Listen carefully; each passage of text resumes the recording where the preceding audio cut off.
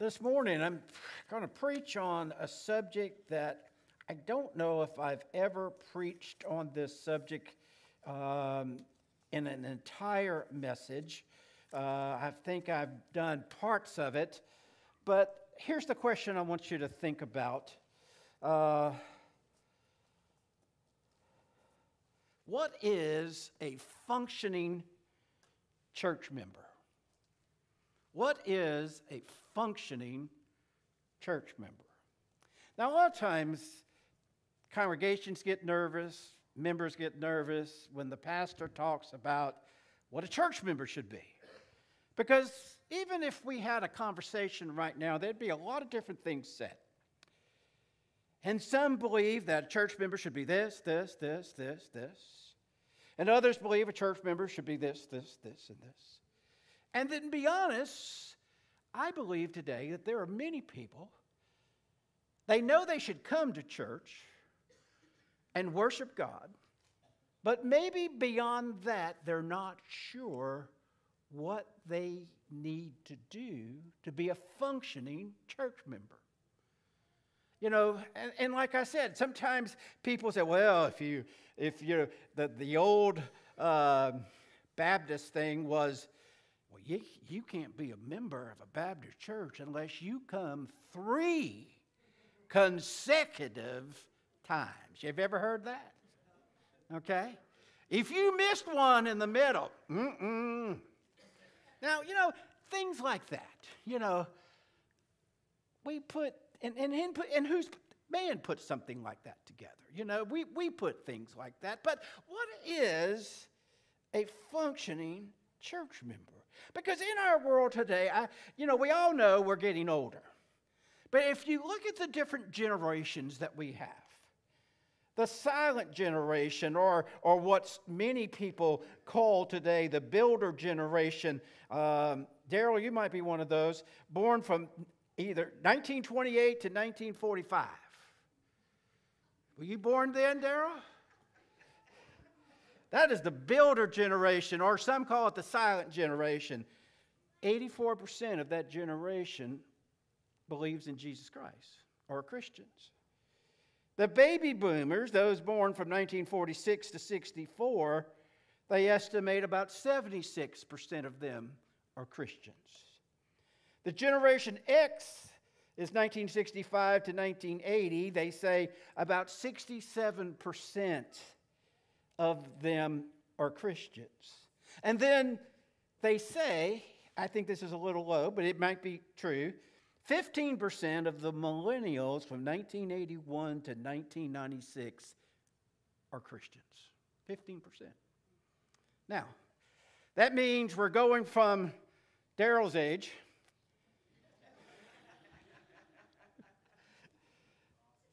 and we're dropping fast. No, uh, you know, and, and Look at the tendencies. Look at the tendencies in churches today. It is harder to get younger people in church. And then when people do come to church, it's kind of like, well, what am I supposed to do? Or there's some, remember, remember our age when we were kids, and if we were not doing what we were supposed to do, our parents gave us a look. Now, it's one thing to get looks from parents. But when the people around you start giving you looks, in other words, son, you need to straighten up. You know, and, and, and those things, I say that because in our life today, what is the most important thing to be a functioning member of the church? I, I asked in the first service this question. Some of you are not going to have a clue on what I'm asking, and it's okay. But have, have you ever read the church covenant of this church? Okay. About the same. We had, I think, five in the first service. Many of you are saying, Preacher, I don't know what you're talking about. Okay? That's not necessarily your fault. Okay? Each church has a covenant of the things that we believe in. Now, years ago, Baptists made it easy for you. Because in the old hymnal, the 1956 blue hymnal, be a matter of of fact. In the back of it was the church covenant that was used as a responsive reading. Remember that? It was a responsive reading. Now, I say all that not to make you feel uncomfortable, but I think for us to begin thinking about what does it truly, what does it really mean to be a member of a church? Now, I want you to take your Bibles and turn to 1 Corinthians chapter 12. 1 Corinthians chapter 12. And go down to verse 12. And we're going to read verses 12 through 31. I know it's a little long, but I want you to see what God's word has for us there, okay? All right. For some reason, my notes are all mixed up. Okay. 1 Corinthians chapter 12, beginning with verse 12, it says, For just as the body is one and has many parts, all the parts of that body, though many, are one body. So also in Christ. For we were all baptized by one Spirit into one body, whether Jews or Greeks, whether slaves or free, and we were all given one Spirit to drink. Indeed, the body is not one part, but many. If the foot should say, Because I'm not a hand, I don't belong to the body, it is not for that reason any less a part of the body. And if the ear should say, Because I'm not an eye, I don't belong to the body, it is not for that reason any less a part of the body. If the whole body were an eye, where would the hearing be? If the whole body were an ear, where would the sense of smell be? But as it is, God has arranged each one of us, or each one of the parts in the body, just as He wanted. And if they were all the same part, where would the body be? And as it is, there are many parts, but one body. The eye cannot say to the hand, I don't need you. Or again, the head can't say to the feet, I don't need you. On the contrary, those parts of the body that are weaker are indispensable. And those parts of the body that we consider less honorable, we clothe these with greater honor, and our unrespectable parts are treated with greater respect, which our respectable parts do not need. Instead, God has put the body together, giving greater honor to the less honorable so that there would be no division in the body, but that the members would have the same concern for each other. So if one member suffers, all the members suffer with it. And if one member is honored, all the members rejoice with it. Now, you are the body of Christ, and individual members and individual members of it. And God has appointed these in the church first apostles, second prophets, third teachers, next miracles, then gifts of healing, helping, leading, various kinds of tongues. Are all apostles? Are all prophets? Are all teachers? Do all do miracles? Do all have gifts of healing? Do all speak in tongues? Do all interpret? But desire the greater gifts, and I will show you an even better way. Now, as you read that and think about maybe that scripture is new to you, maybe you've read that before, maybe you say, Preacher, I'm not really sure about these parts and pieces. But in the church, even in this church, I look at every church is unique. It has different people that have different talent and abilities. In some churches, we need to see that the church should be helping you realize the gifts that God has given you. Now, I know some of you are thinking, Preacher, I missed that day and God didn't give me any gifts because I was out in the rain. False. You were given gifts. And the purpose of the church is to help you find those gifts to use in a Christian way. Now, in a church, every church is different. You know, I was talking with one of the ladies after church this morning, and she was telling about her sister's church, and she said, Preacher, they, they only have 25 people if they're lucky on a Sunday morning, but they come faithfully every week and worship the Lord. She said, The ladies of the church do most of the work because their pastor is 90 years old, and all he's able to do is preach, and he's not able to do anything else. But I believe they have church. Every church is different, right? Every church is different. We have a different makeup here than we eh, maybe somewhere else. But it's still a church. Here, God was describing, or our Lord, Paul was describing in 1 Corinthians about the church at Corinth. Now, the church at Corinth was different from other churches, and the church at Corinth, some would say, was a strong church that had a lot of different people, that had a lot of different gifts. But every church needs to see of what God has given us. Now, we also need to realize that membership means we are the necessary parts of the whole. We are part of a membership here at this church, and we are needed to bring the wholeness of this church. Now, also realize that biblical membership versus the culture of membership. There is a culture out there said, Well, I've, I've joined this club, I've joined this country club, I've joined this organization. And I don't know if you're aware, but most organizations, country clubs, have requirements or have dues, uh, have different obligations. And even in a church, not that we collect dues, but the definition of membership, if we go back to, to the scripture there in chapter 12 and verse 27, it says, Now you are the body of Christ an individual member of it. And God has appointed these in the church. We are part of that. Now, membership means we are different, but we work together. This week, we have a prime example of church membership. We're going to have people using their gifts of love, patience, kindness, all of those things, working with 150 something children.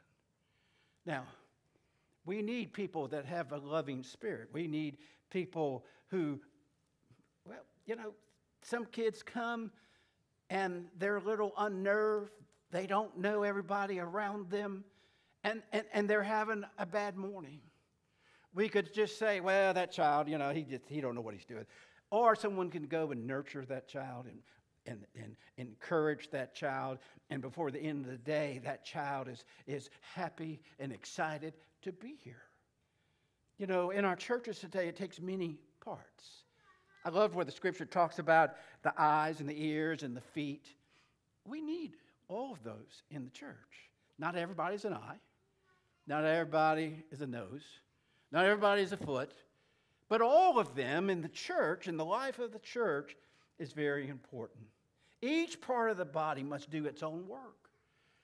And a lot of times, and, and I think part of it is the church, we haven't helped you find, helped you find those gifts that you have. Now, some of you have, and you know you have gifts, but you are undercover. You don't want anybody to find out that you have this gift. Some of you have been doing it really good for the last 30 years. You will not reveal it. We could torture you. You're not going to tell us that that is your gift. Like Miss Brenda, who was church secretary, Pastor Frank, my crystal ball is not working. You know, she said, I just can't tell what to do. You know, the, each of us have a part. And we need to do that. And I believe that the body suffers when we fail to do our part. When there's something we can do and we don't do it, the body, the whole, fails because someone is sitting there and said, Man, I probably could do that, but I really don't want them to know because if I let them know, they're going to ask me again. And then they might even ask me two times. You know, some of us, we know we have certain gifts. Not that we're bragging, not that we're going, man, I got this gift. I'm, you know. But have you found out what your gifts are? I always use this illustration on cooking spaghetti. Some of you know this. I don't think Vanita would approve. But in cooking spaghetti, and to know that it's done, you take some of the spaghetti after you think it's done and you throw it against the wall. Vanita wouldn't approve. But if it sticks, it's done, right, Larry? It's, it's done. Just make sure you got clean walls, okay? It's done. You know, sometimes we need to allow people in our church to try different gifts. And you know what? If you try to see if that's your gift and it doesn't stick, that's okay. No crime has been done.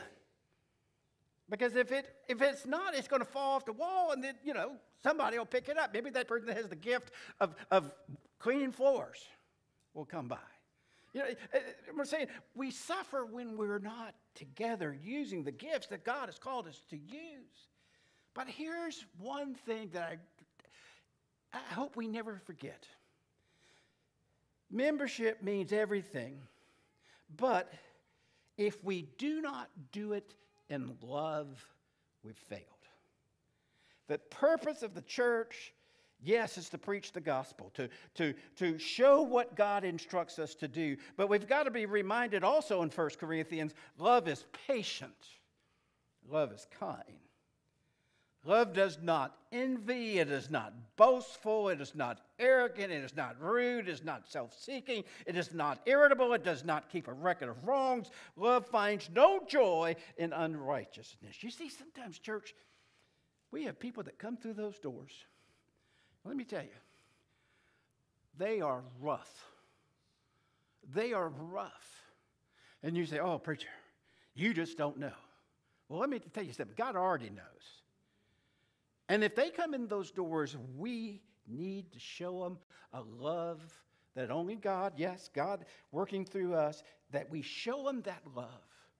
And isn't it amazing how God can work and move and, and bring people not where we think they should be, but where God wants them to be? A church must demonstrate love. We need to be lovable people. But, you know, sometimes we're having bad days and we're, we don't want to love nobody. But we need to love. We also need to see that church membership is not a country club membership where we just come and pay our dues and go on. We need to see that church membership is a functioning membership where we are functioning within the church, attending every opportunity that we can, to be involved, talking with our friends, getting to know them, rejoicing with them when things are good, and also being with them when things are bad. We need to see the importance to, to, to, to realize of, of who we are and what we can do. As verse 27 says, Now you are the body of Christ, an individual member of it. We need to be a functioning member, whether we're an eye or an ear or a hand.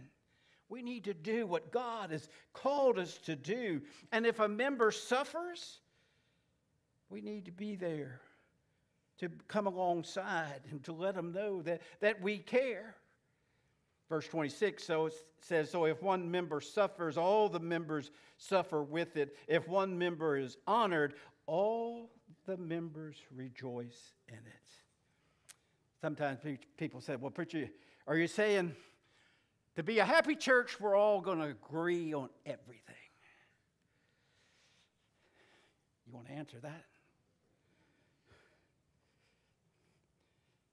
When it comes to the biblical basis of the Bible, we should agree. Now, on other subjects, we might not agree. But we can love, we can respect, we can treat people how Jesus Christ wants us to treat people. And I'm not saying that because something's happened. I'm just saying that we, that we should treat people like Jesus would want us to treat others. Are we perfect? No. I always sometimes have people said, Preacher, I'm looking for the perfect church. I used to say, Well, then First Baptist is not it. And they look at me. I said, Because I don't think you'll find a perfect church. I don't think we'll find that until we're up with our Lord. I said, First Baptist has made its mistakes through the years, like many churches. But hopefully and prayerfully, we have learned from those mistakes, and we see that when we are involved in His church, and whose church is it? His. And we are doing the things He wants us to do, God will bless. I want us to think in the next few weeks about being part of a functioning church. Let's pray. Heavenly Father, Lord, we thank you for this day. And Lord, I just ask that you would just guide us. Be with us, Lord. Show us the direction we need to go. And Lord, may we think about our church. What does it mean to be a member? And Lord, honestly, allow you to lead us, to show us, and to do the things that you've called us to do. I ask this in your Son's name. Amen. I will say this